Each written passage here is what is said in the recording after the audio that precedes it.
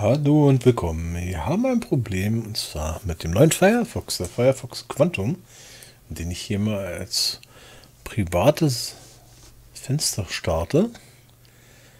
Stellt einige Sachen nicht dar. Ich suche jetzt mal das Modell meiner Hauptplatine heraus. Gehe dort auf Service und Support klicke anschließend auf Treiber und Hilfsprogramme und wähle mein Betriebssystem aus. So, und seitdem ich den Firefox Quantum drauf habe, kommt hier nichts an der Stelle. Den Link hatte ich schon gespeichert. Das ist so der richtige Link.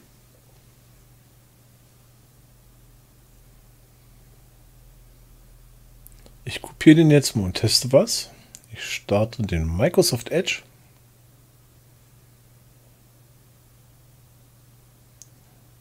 Füge den Link einmal ein und gehe auf Weiter.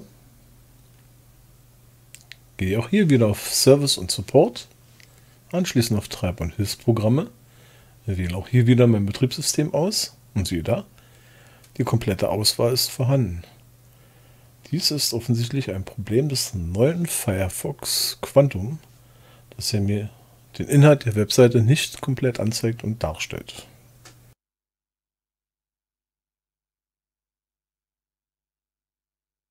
So, und damit ich ganz sicher bin, dass auch kein Fehler von mir dabei ist, habe ich mal mein Antivirenprogramm aufgemacht. Da haben wir nachgeguckt, ob ich hier bei den Web-Einstellungen irgendetwas falsch gemacht habe und irgendwelche Haken gesetzt habe. Aber nein, ich habe sogar extra zum Testen alles ausgeschaltet, was mit Webschutz zu tun hat. Da ich sicher bin, ist alles aus, gehe ich jetzt nochmal zur Webseite meines Herstellers, rufe sie wieder auf nach wie vor mit dem Firefox Quantum. Diesmal auch nicht als privates Fenster, sondern als ganz normales Fenster. Bestätige mit OK, dass Cookies gesammelt werden dürfen. Gehe wieder auf Service und Support, Treiber Hilfsprogramm und wähle wieder mein Betriebssystem aus. Und leider ist nach wie vor in der Auswahl nichts weiter vorhanden. Ich versuche nochmal das Betriebssystem auszuwählen.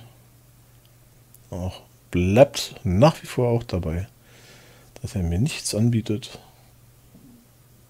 was in der Auswahl jetzt eigentlich kommen müsste, nämlich meine Treiber. So, auch hier gehen wir nochmal zum Edge und testen nochmal den schon vorhandenen Link, klicken aufs Betriebssystem und siehe da, die komplette Auswahl ist wieder vorhanden.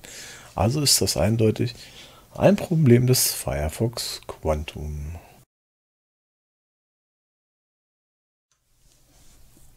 So, nur sitzen wir hier, haben einen Firefox, der die Webseiten nicht so darstellt, wie sie tatsächlich vorhanden sind. Und haben ein Problem. Was machen wir? Ich habe festgestellt, mit einer Neuinstallation des Firefox lässt sich das Problem umgehen. Wichtig ist, man muss erstmal die alten Einstellungen rausschmeißen. Wie macht man das? Drüber installieren bringt nämlich gar nichts. Ich zeige mal den Weg. Erstmal, damit man seine persönlichen Einstellungen und Lesezeichen nicht verliert, empfehle ich einmal den Firefox wieder zu starten. Dann auf das Symbol zu klicken, welches wir in dem anderen Video von mir hier schon hingelegt haben. Gehen auf Lesezeichen verwalten. Gehen auf Verwalten, sagen importieren und sichern und gehen Lesezeichen nach HTML exportieren. Ich empfehle einfach die Lesezeichen nach aktuellem Stand zu sichern. In dem Fall wäre das im Januar 2018. So. Schon habe ich sie gesichert. Am besten noch FF davor für Firefox. Januar 2018. Dann weiß man später auch mit der Datei wieder was anzufangen. So, die kann man später dann auch wieder importieren. Lesezeichen von HTML importieren. Dann kann ich den wieder auswählen. Und dann hätte ich meine Lesezeichen alle wieder da. Das ist mal ganz wichtig, weil Lesezeichen gehen ganz gerne mal verloren. Auf diese Art kann man sie gleich sichern. So, dann wird der Firefox wieder geschlossen. Jetzt drückt man die Windows-Taste und den Buchstaben R. Also Windows-Taste drücken, gedrückt halten, den Buchstaben R einmal dazu. R wie Richard. Und gibt das hier ein. Und zwar das Zeichen für Prozent, dann das Wort App-Data mit zwei Ps, dann wieder das Zeichen für Prozent. Das findet man auf der Großbuchstabentaste und der Zahl 5 über dem normalen Buchstabenbereich. So, und wenn ich das getippt habe, drücke ich anschließend OK. Wenn ich auf OK geklickt habe oder die Enter-Taste gedrückt habe, kann ich dann diesen Mozilla-Ordner entfernen. Aber Achtung, bevor ich ihn entferne, gehe ich erstmal in die Systemsteuerung von Windows, gehe auf Apps deinstallieren, suche mir den Firefox heraus und sage dann den Firefox deinstallieren. Dann ist er weg.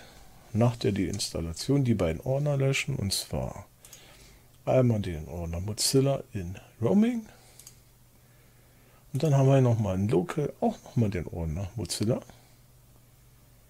Da ist er. Auch diesen bitte wieder löschen. Solltest du beide Programme drauf haben, den Mozilla Firefox und den Mozilla Thunderbird, keine Panik, passiert nichts.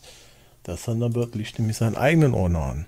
Auch dafür habe ich schon mal eine Anleitung gemacht, wann der Thunderbird-Ordner zu löschen ist. Denn auch da gibt es manchmal Probleme, wenn man den Thunderbird neu installieren möchte, weil es vorher ein Problem gab. Ja, aber wie gesagt, geht es um den Mozilla-Ordner. Dieser kann dann entfernt werden, nachdem das Programm deinstalliert wurde. Dann kann man sich den neuen Firefox herunterladen, die Installationsdatei, sich in den Download-Ordner legen oder wo man gerne möchte, Desktop oder wo auch immer. Hauptsache man findet ihn wieder, den Firefox neu installieren. Ich habe festgestellt, danach funktioniert alles wieder und die Webseiten werden auch wieder einwandfrei angezeigt. Auch hier werden wir nochmal mit Asus versuchen. So, da haben wir ja nochmal mein Motherboard. welches extra gewählt habe, weil dieses Motherboard mehr SATA-Anschlüsse hat als die anderen aus dieser Chipsatzreihe. Die haben diese sechs Anschlüsse, dieses Jahr acht Anschlüsse. Tut jetzt aber nichts zum Firefox dazu, sondern ist nur als Information. Ich gucke nochmal und zeige nochmal, wie es funktioniert.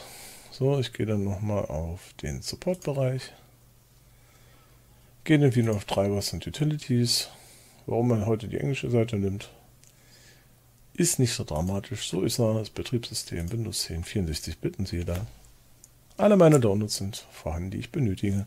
Treiber, Videos, LAN, Utilities, Chipsatz und so weiter und so fort. Auch die Qualified Vendor List, die QVL, für den kompatiblen Arbeitsspeicher.